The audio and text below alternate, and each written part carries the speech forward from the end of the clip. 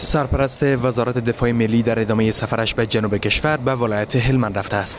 و در سخنرانیش با نظامیان کشور در قلوردوی 215 میوند می‌گوید که جنگ کنونی در افغانستان جنگ داخلی و جنگ افغانی نیست.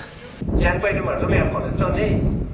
یه جنگی است که یک توطئه بزرگ تروریست های بین هستند که متاسفانه افغانستان برشان میدان جنگ شده. معصوم سانگزی می‌گوید که حراس افغانان خارجی نقش اساسی را در نبردهای کنونی کشور بازی می کنند. و ها حتی ها افرادی که از بیرون آمدن و این روز در نتیجه فعالیت و خطرمانه شما وقتی که در اونجا کشته شدن کسی نیست که مرداش را ببرن به خاطر از اینکه اونا افغان نیستن. اونا از این کشور نیستن.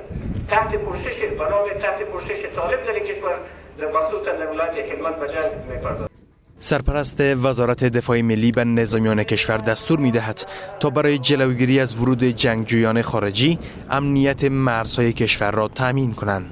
مسئولیت ما که ما باید سرحدات خود محکم کنیم. هر وقتی که دروازه خانه را محکم کرده در داخل خانه باز کسی داخل شده نمی‌تونه. هرچند سرپرست وزارت دفاع ملی از مداخله کشورها در امور داخلی افغانستان نام نمی‌برد اما پیش از این پاکستان همواره از سوی کابل به بسیج و تمویل جنگجویان در افغانستان متهم شده است.